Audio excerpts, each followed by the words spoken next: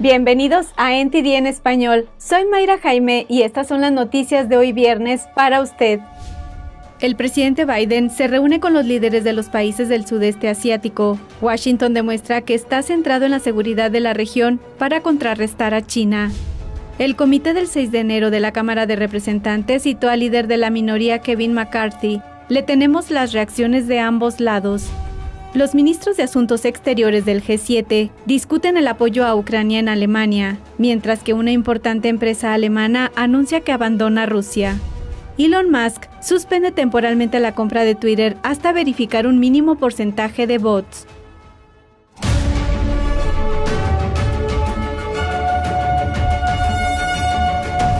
Nuevamente bienvenidos a NTD en español. Nuestro compromiso es traerle las noticias de forma honesta y veraz. Muchas gracias por acompañarnos y comenzamos. El presidente Biden recibe hoy a los líderes del sudeste asiático en Washington, D.C. La administración prometió gastar millones en esfuerzos destinados a contrarrestar la influencia de China en la región. Jessica Viri de NTD tiene más información. El presidente Biden se reúne este viernes con los líderes de la Asociación de Naciones del Sudeste Asiático, o ASEAN, para mantener conversaciones en el Departamento de Estado. Biden dio la bienvenida a los líderes el jueves con una cena en la Casa Blanca para iniciar la cumbre de dos días. Es la primera vez que el grupo se reúne en Washington, D.C. La Casa Blanca dijo que Estados Unidos está invirtiendo más de 150 millones de dólares en nuevos proyectos en el sudeste asiático, para impulsar las infraestructuras energéticas, marítimas y de salud pública de la región. Estados Unidos también está poniendo en marcha un programa de desarrollo de liderazgo denominado Instituto Estados Unidos ASEAN para Líderes Emergentes. A través de la financiación privada, el programa patrocinará hasta 30 profesionales del servicio público de los países de la ASEAN cada año. Varios funcionarios de Biden también se reunieron el jueves con los líderes de la ASEAN. La secretaria de Comercio, Gina Raimondo, dice que otro objetivo es mejorar la fortaleza de la cadena de suministro. Queremos trabajar con ustedes y sus empresas para construir una mayor resistencia y seguridad en nuestras cadenas de suministro. El secretario de Defensa, Lloyd Austin, dio la bienvenida a su homólogo tailandés al Pentágono. Dijo que Tailandia es el amigo y aliado más antiguo de Estados Unidos en el Indo-Pacífico. Durante décadas, nuestra alianza ha reforzado la seguridad en esta región crítica. Por ello, me complace anunciar hoy que realizaré mi primera visita a Tailandia como secretario de Defensa el mes que viene. El secretario de Estado, Anthony Blinken, dio la bienvenida al viceprimer ministro de Tailandia, que es también el principal diplomático del país. Pero trabajaremos en una agenda compartida muy fuerte para un Indo-Pacífico estable y en paz. El gobierno de Biden espera que la cumbre muestre que Washington sigue centrado en el Indo-Pacífico y en el desafío a largo plazo de China, a la que Estados Unidos considera su principal competidor. Solo en noviembre, China prometió 1.500 millones de dólares para ayudar a los países de la ASEAN. La cumbre especial de Washington se celebra antes del viaje de Biden de la próxima semana a Corea del Sur y Japón. El panel del 6 de enero citó al líder del Partido Republicano, Kevin McCarthy, y a otros cuatro legisladores republicanos como parte de su investigación sobre la irrupción del 6 de enero al Capitolio. Esta fue la reacción de McCarthy a la noticia. No he visto la citación. Supongo que se la envían a ustedes antes de enviármela a mí. Mira, mi opinión sobre el comité no ha cambiado. No están llevando a cabo una investigación legítima. Parece que solo quieren ir tras sus oponentes políticos, pero lo único que ha cambiado en Estados Unidos es una inflación más alta que no habíamos visto desde los años 70, una frontera insegura, los precios de la gasolina, y ahora no tenemos leche de fórmula para bebés. Los periodistas preguntaron a McCarthy qué significa esto para el futuro de la Cámara y si cumplirá con la citación. No respondió. El demócrata Jamie Raskin de Maryland forma parte del comité y dice que los miembros del Partido Republicano deberían cumplir. En los casos en los que la gente no quiere participar voluntariamente, entonces tenemos la opción de enviarles una citación para pedirles que vengan. Y tengo todas las razones para creer que las personas que reciban las citaciones hoy cumplirán con su deber legal y yo diría que moral de cooperar con una investigación sobre un ataque al Congreso y a las instituciones políticas del país. La medida es casi inédita porque es poco frecuente que el Congreso cite a miembros en funciones. La decisión seguramente provocará más tensiones entre los dos partidos. Los otros congresistas republicanos citados son Jim Jordan de Ohio, Scott Perry de Pensilvania, Andy Biggs de Arizona y Mo Brooks de Alabama. El comité del 6 de enero incluye a seis demócratas y dos republicanos. Los dos representantes republicanos, Adam Kissinger y Liz Cheney, han criticado abiertamente al expresidente Trump y el pasado julio McCarthy retiró a todos los republicanos del comité después que la presidenta de la Cámara, Nancy Pelosi, rechazara a dos de sus elegidos. Se trataba de los congresistas Jim Jordan y Jim Banks. En ese momento Pelosi no dio más detalles y se limitó a citar la preocupación por sus acciones. McCarthy lo calificó como un atroz abuso de poder que dañaría a la institución. Las citaciones se producen mientras la investigación del panel está terminando y sus miembros se preparan para las audiencias del verano. Elon Musk dice que su acuerdo para comprar Twitter está suspendido temporalmente y eso hasta que se verifique la afirmación de Twitter de que los bots o cuentas falsas representan menos del 5% de los usuarios en la plataforma. En un tuit del 13 de mayo, Musk hizo referencia a un informe de Reuters. Según el informe, Twitter estima que las cuentas de spam representaron menos del 5% de sus usuarios activos diarios durante el primer trimestre. La revelación de Twitter ocurre días después que Musk dijera que una de sus prioridades sería eliminar los bots de spam de la plataforma. Él ha ofrecido comprar Twitter por unos 44 mil millones de dólares. Musk dijo que si su oferta de compra de Twitter tiene éxito, tiene la intención de autenticar a todos los humanos reales en la plataforma. Los bots de spam en Twitter son cuentas automatizadas que pueden actuar como humanos reales, como enviar tweets y seguir a otros usuarios. Estas cuentas pueden programarse para atraer tráfico por motivos comerciales o para difundir contenidos como parte de una operación de influencia social o política. Los ministros de Asuntos Exteriores del G7 se encuentran en Alemania discutiendo el apoyo a Ucrania. La reunión de dos días de duración se celebra en un castillo alemán situado en la costa del mar Báltico. El periodista de NTD Jeremy Sandberg tiene más información. Los ministros de Asuntos Exteriores de Estados Unidos, Canadá, Alemania, Francia, Italia, Japón, Gran Bretaña y la Unión Europea se reunieron en un castillo de 400 años de antigüedad situado en la localidad de Weissenhaus, en el mar Báltico. A ellos se unieron los ministros de Asuntos Exteriores de Moldavia y Ucrania, que fueron invitados en señal de apoyo. Se hicieron declaraciones de inauguración antes que la reunión comenzara oficialmente. La ministra de Asuntos Exteriores británica, Liz Truss, calificó de vital la unidad del G7. Es muy importante en este momento que mantengamos la presión sobre Vladimir Putin, suministrando más armas a Ucrania, aumentando las sanciones. Y el ministro francés de Asuntos Exteriores, Jean-Yves Le Drian, afirma que el G7 apoyará a Ucrania hasta la victoria contra Rusia. El jefe de la política exterior de la Unión Europea, Josep Borrell, dice que la Unión Europea proporcionará otros 500 millones de euros en ayuda militar a Ucrania. Eso supone unos 520 millones de dólares estadounidenses. La respuesta es clara. Más de lo mismo. Me refiero a más apoyo a Ucrania, incluido el militar. Borrell dice que confía en que se llegue a un acuerdo sobre el embargo de petróleo ruso. Esto tras las promesas de los líderes del G7 el domingo de prohibir o eliminar gradualmente la compra de petróleo ruso. Alemania calificó la reunión del G7 de poderosa señal de unidad.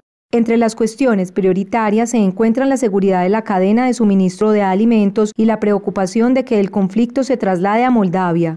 Mientras tanto, el gigante industrial alemán Siemens dice que abandona Rusia después de casi 170 años de operaciones allí.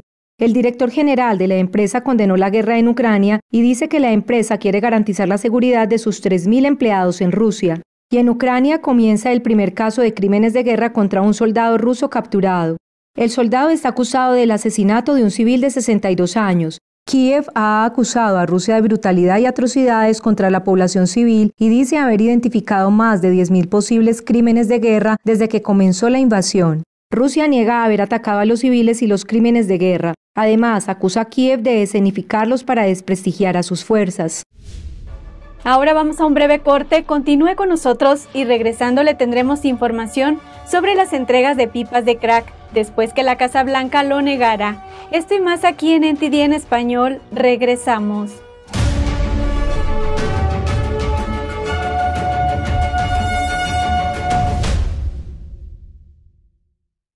Bienvenidos al episodio de hoy, soy Elina Villafaña. Según nuevos informes sobre la efectividad de las vacunas, afirman que... Comencemos hablando sobre las últimas elecciones. Hay investigaciones que confirman que hubo... Varias investigaciones comprueban que el origen del virus es el laboratorio de... Bienvenidos al episodio de hoy, soy Elina Villafaña. No pierda más tiempo, infórmese sin censura desde Epoch TV.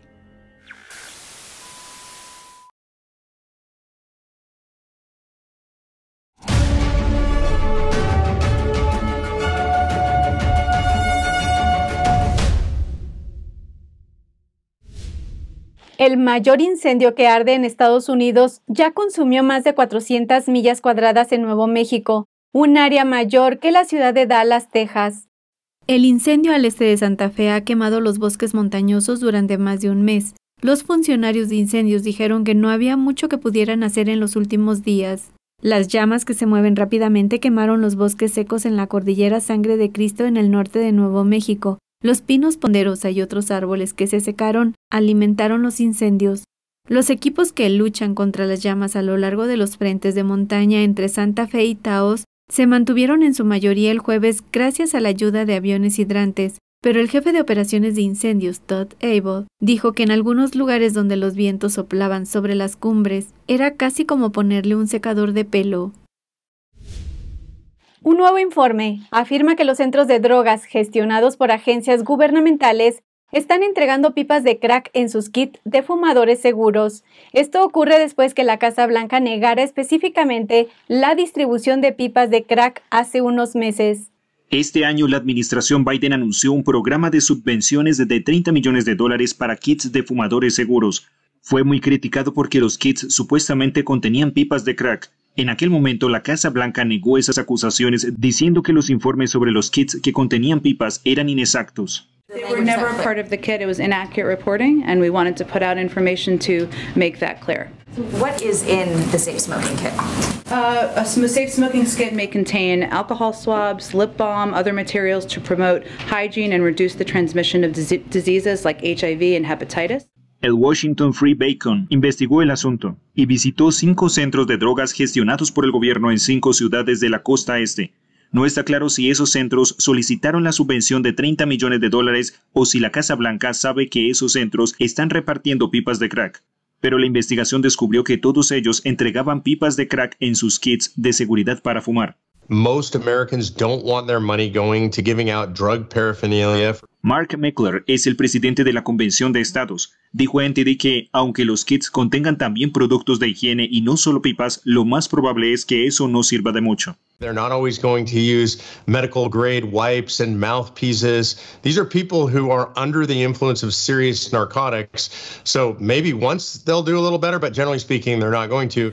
Free Bacon también descubrió que un kit para fumadores en Baltimore incluía una especie de tarjeta para salir de la prisión. Los adictos reciben esta tarjeta de participante en el programa junto con el kit porque tener artículos de drogadicción es en realidad ilegal en Maryland. When a society stops enforcing its own laws, it becomes lawless. That's a very dangerous situation for a society. NTD se puso en contacto con la Casa Blanca para preguntarle cómo se asegurará de que el dinero de la subvención no se utilizará para pipas de crack, pero no recibimos respuesta antes de esta emisión.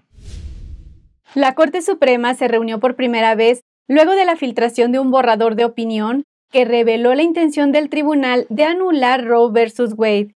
Desde la filtración, se han producido protestas frente a las casas de los jueces y los republicanos piden ahora al Departamento de Justicia que haga cumplir la ley y que procese a los manifestantes. Tenemos los detalles.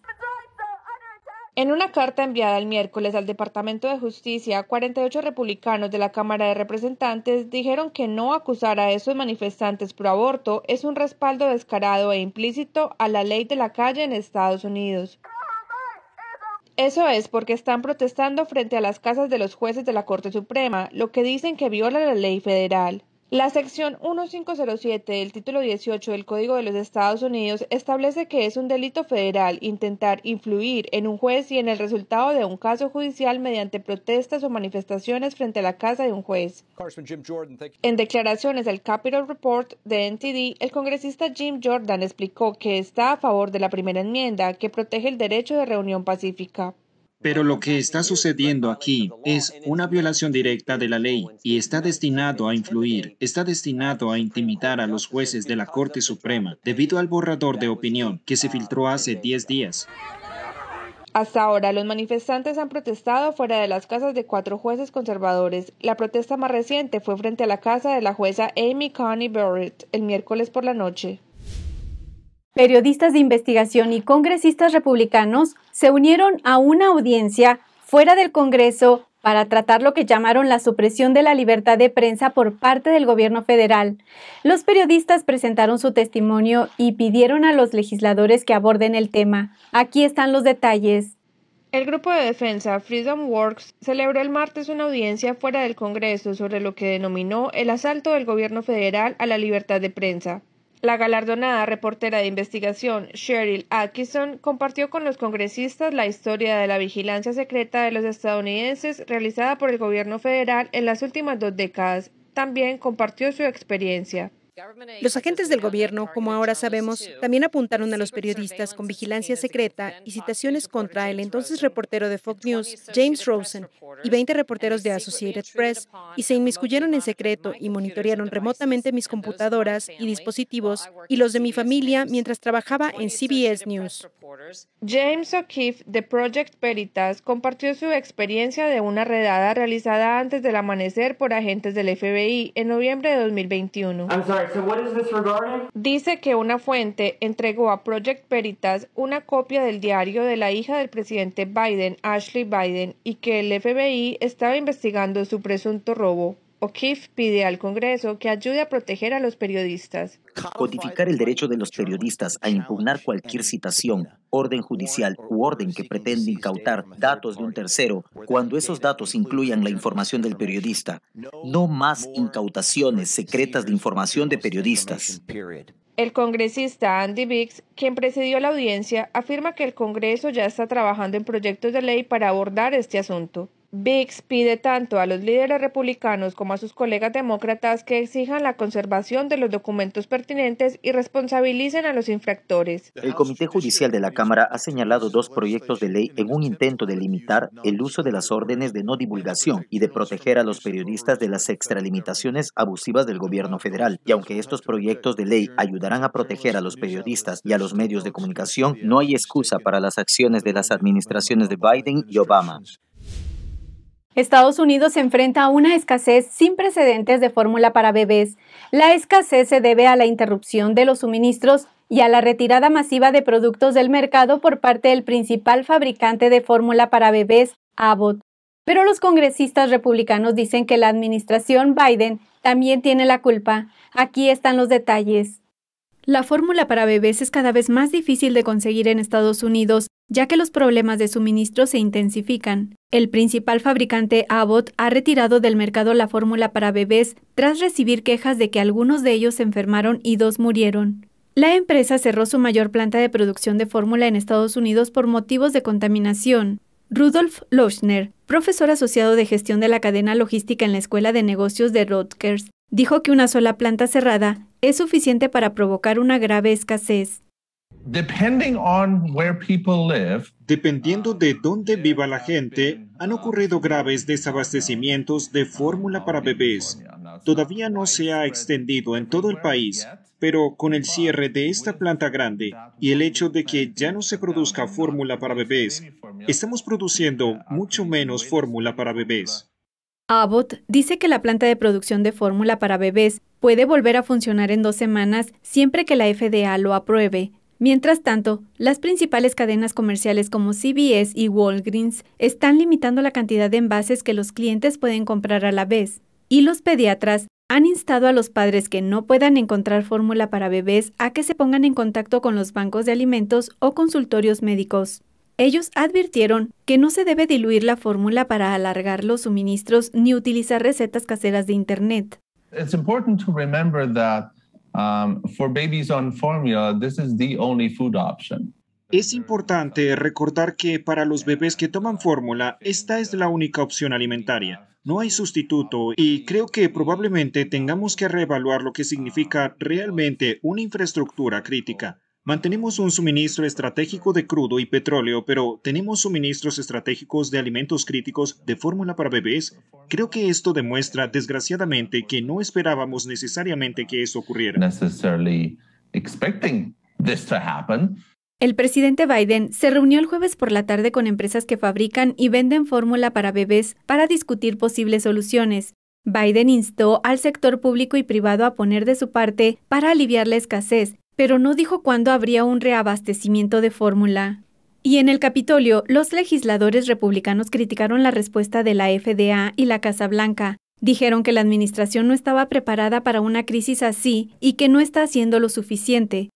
Esta es una crisis que nunca debió haber ocurrido y eso recae completamente sobre los hombros de la administración Biden y los demócratas que controlan nuestro gobierno.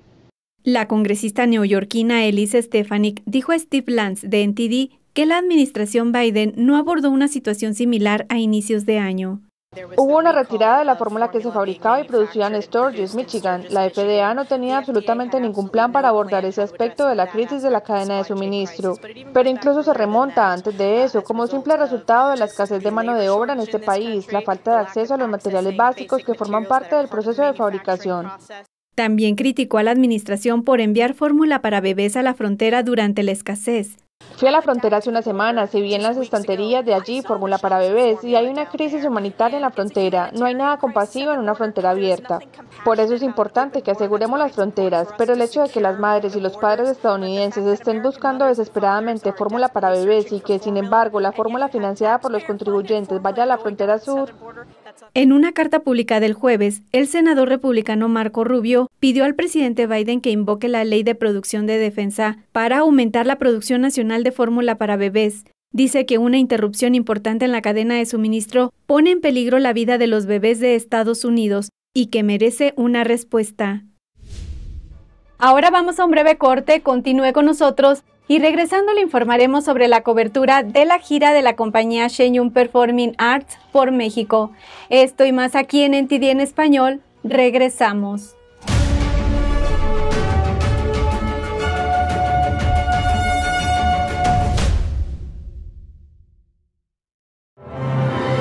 Por fin, la espera ha terminado.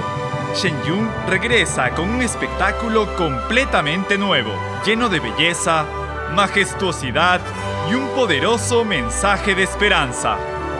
Descubra la cultura perdida de la antigua China. Descubra la temporada 2021 de Shenyun. Un mundo más maravilloso le espera. Consiga sus boletos hoy.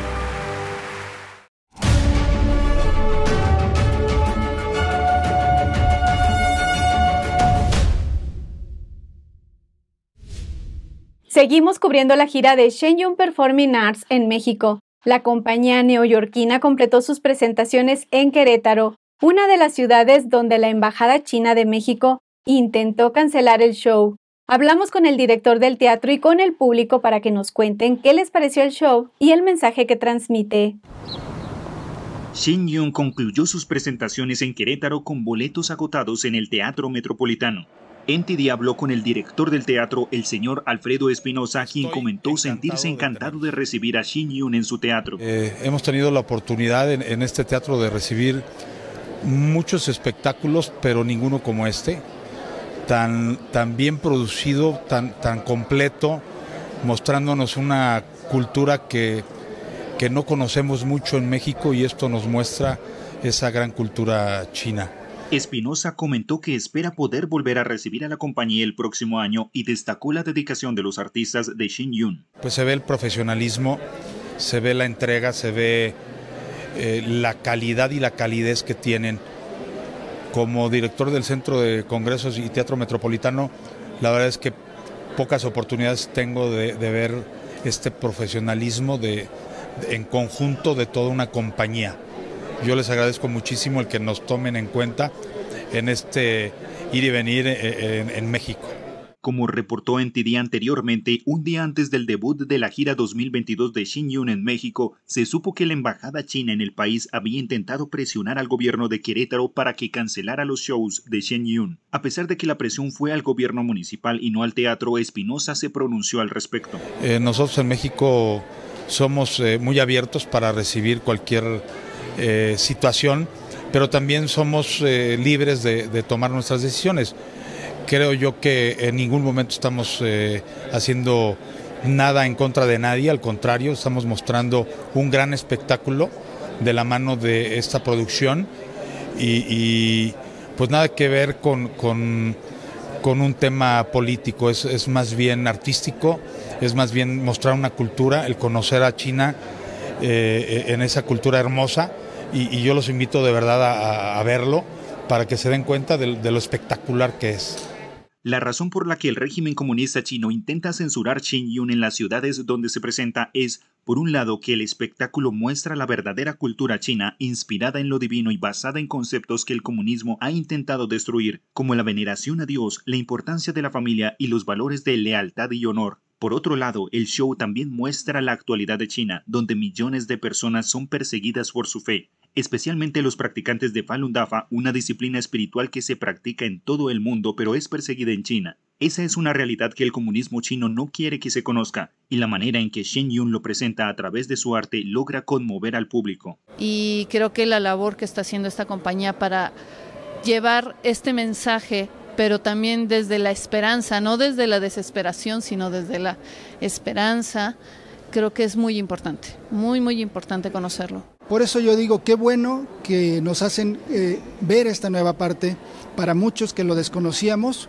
ver lo que está sucediendo, la actualidad, eso nos, nos eh, da mucho, mucho que pensar y también en nuestros corazones desear que esto se acabe.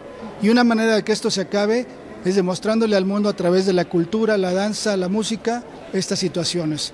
Los espectadores comentaron sentirse inspirados por el espectáculo. Cómo se mueven los bailarines, las chicas, cómo bailan, sus caras de alegría, los trajes son maravillosos. Me gusta mucho también esta escenografía que utilizan, que se me hace algo muy original. Yo como artista visual, artista plástico, me voy inspirado y con, siento paz en mi corazón y me voy muy inspirado para algo, algo a ver en mi trabajo en relación a este movimiento.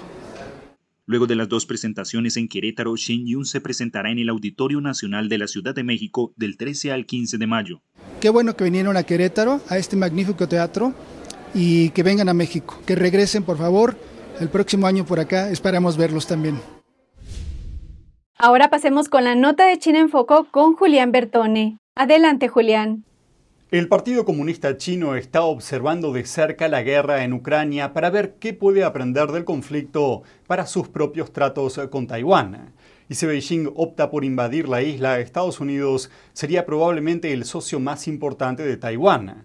Pero ¿está Washington preparado para asumir ese papel? El exsecretario de Defensa de Estados Unidos, Mark Esper, reveló su postura al respecto en una entrevista con Fox News. Look, I regard China as our number one strategic adversary in this century, and we need to prepare for that. And I don't think we are doing so sufficiently now. Esper dijo que Taiwán debería pensar en cómo mejorar sus defensas territoriales, cómo aumentar su presupuesto de defensa y cómo comprar equipos adecuados. También expresó su preocupación por el hecho de que la gente pueda ponerse dubitativa con respecto a Taiwán porque está a medio mundo de distancia. Gracias, Julián. Esto es todo por hoy.